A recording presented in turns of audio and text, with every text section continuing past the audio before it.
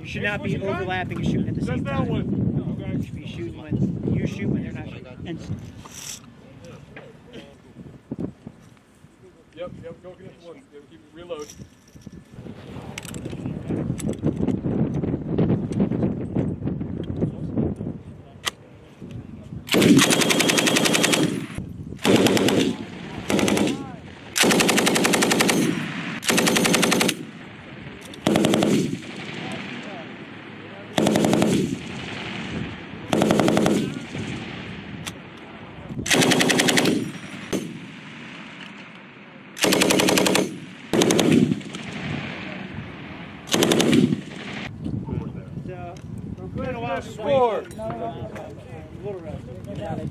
I'm Travius Rusk, Corporal, uh, 2nd A Battalion.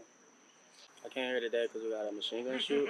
Uh, basically, from the, the company, it issued a, a exercise for to get on boats.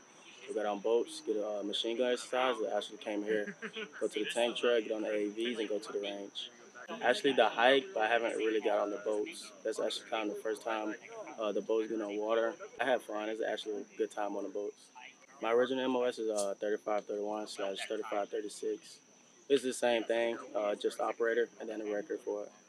Humvees, FSRs, 7 tons, uh, uh, 36, which is the wrecker for the 7 ton, and the 15 is the wrecker. And also uh, operate some trailers, PLST, other water bowls, uh, some of the small trailers in the motor pool. I enjoyed a lot. And the admin side, I got put into the admin side a little early based off uh, whenever I joined the unit. I got a line CO was just going over all the vehicles and record jackets, and then my superior and performance, I upgraded to truck master once I was Lance and I started working GCSS.